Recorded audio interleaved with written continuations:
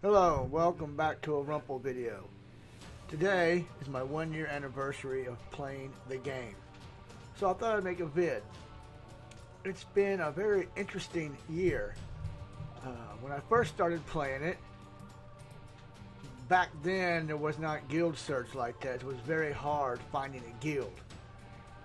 So I got lucky in the guild I found, I fit right in. I grew in from that guild from level 30 all the way to level 85. The, the leader was not very active. So long story short, I left the guild and about six months into the game, I ended up being a leader of a guild. And six months later, to my year date, we are now phase three HAAT. We do H pits in 15 minutes or less. I've seen the introduction of territory battles, light side and dark side now. seen many events, new players come. It has been a very interesting year. Now let's take a flashback. What did it look like two months into the game for me? This is early January, I would say two months into the game. So when you get to this point, you're like, God, I'm never going to get there. Well, the next picture that's current and only takes one year, you're like, wow. Yeah, it makes the one year wait worth it. There's big difference in toons here, and playing has became a lot different. When you get to 85, a lot of people think it's over. It's not. It's just getting started. Yep, two months into the game, leading with Palp. Uh, it's just kind of ironic. I forgot I actually led with Palp when Nihi came out. But uh, Arena PvP is my big fave of me. And right here, same time, this is about two months into the game.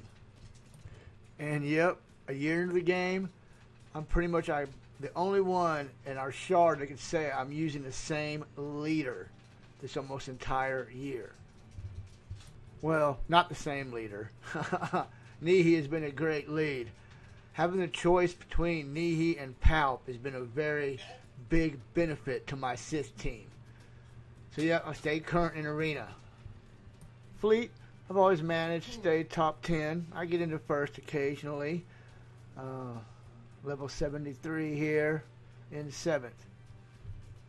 Much different world now with the Thrawn capital ship. But I lead with Tarkin now. Uh, set of TIE fighters and I stay in the top 10 pretty much in fleet as well. Staying in the top 20, get your gems. Top 10, of course, rewards even better. So that's where I try to stay in fleet. And that's been my year in the game. Um, lost little puppy, Padawan, you know. You don't know what to do when you first start out.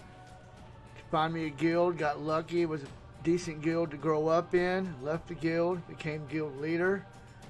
Uh, solo in the pit. Um, oh, and a YouTube channel, and I've got this as well. So it's been a really neat year, all from the love of Star Wars. And I want to thank my Shard mates. They've been a really great team. I joined a Shard chat, and they're a bunch of great guys to work with. I want to thank you guys for being so great. And I want to thank everybody for being a rumple. Thanks for watching. Have a good day.